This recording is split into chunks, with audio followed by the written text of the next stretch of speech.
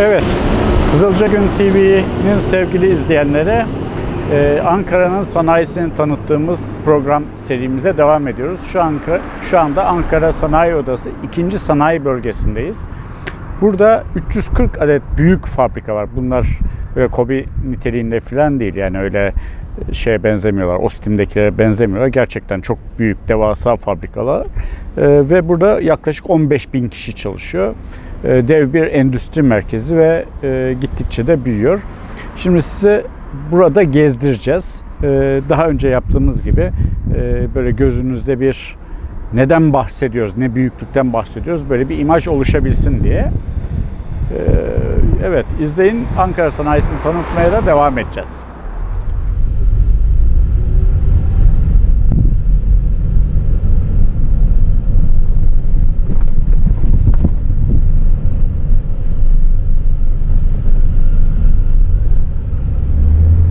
Evet, gördüğünüz gibi sevgili seyirciler buradaki fabrikaların büyüklükleri, arazileri falan e, Ostim'le veya Tisan'la kıyaslanamayacak kadar e, daha ziyade birinci organize sanayi e, eşdeğer.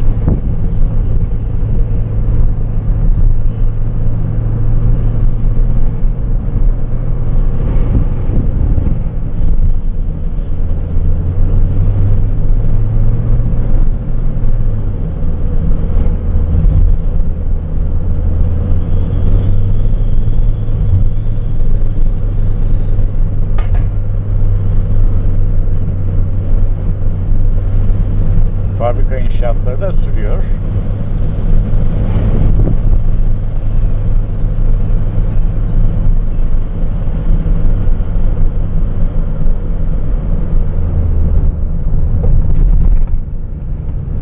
Aslında bu fabrika inşaatlarının sürmesi Türk ekonomisi açısından da son derece gurur verici bir olay.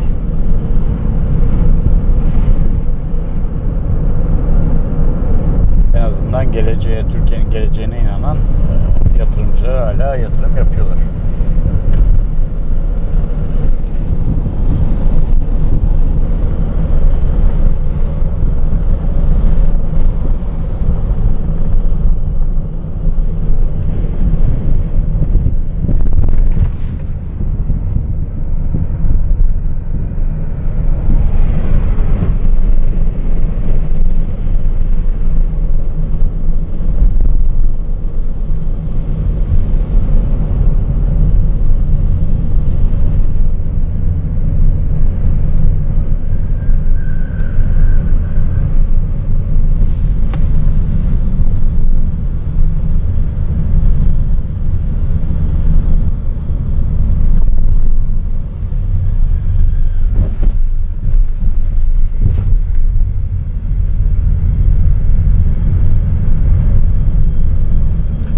De büyük fabrikalar. Devasa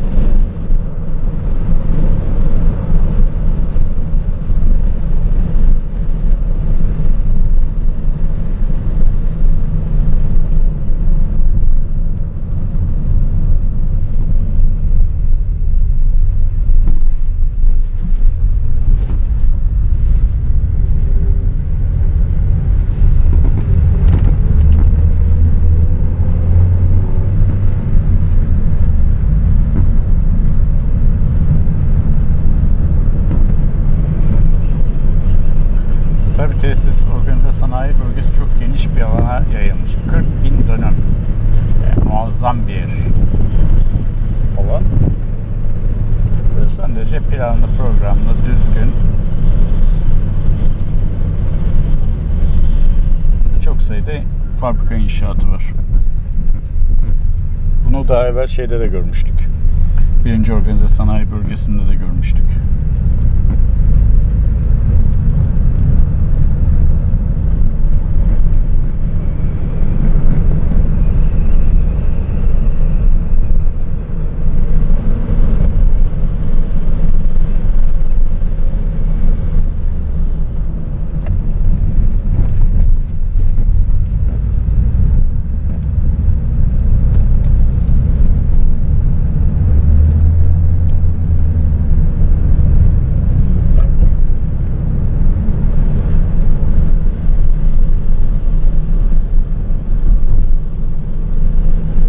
Burası ilk yapılırken arazinin çok kayalık olduğu ve fabrika yapmak için gerçekten de ciddi miktarda hafriyat yapılmasına, kaya kırılmasına gereksinim duyulduğu söyleniyordu. Ee, fabrika sahipleri ilk başta o yüzden biraz e, sıkıntı çekmişlerdi. Daha pahalıya mal etmişlerdi inşaatta.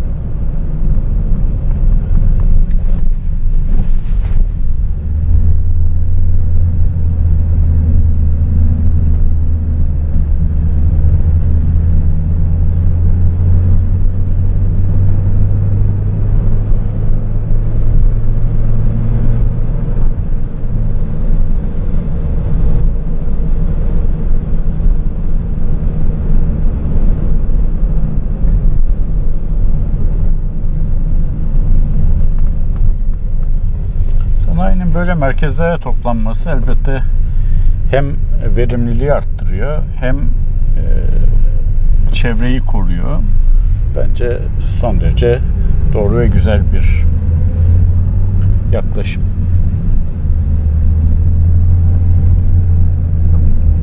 Buranın biraz ulaşımı zor. Mesela burada da bir metro veya raylı sistem, hafif raylı sistem falan olsa binlerce insanın buraya gelmesi, gitmesi çok daha kolay olur.